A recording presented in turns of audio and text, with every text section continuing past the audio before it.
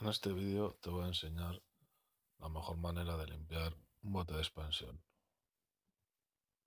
Así que vamos a ello.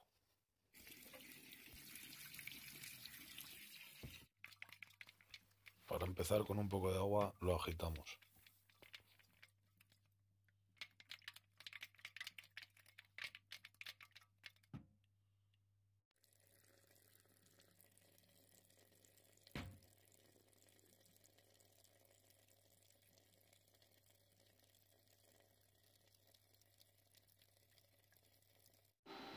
Vale, pues me imagino que esto, esta varilla será del sensor de, de nivel. Así que este bote de expansión seguramente le reemplazaré por uno nuevo. Vale, y ahora viene lo interesante.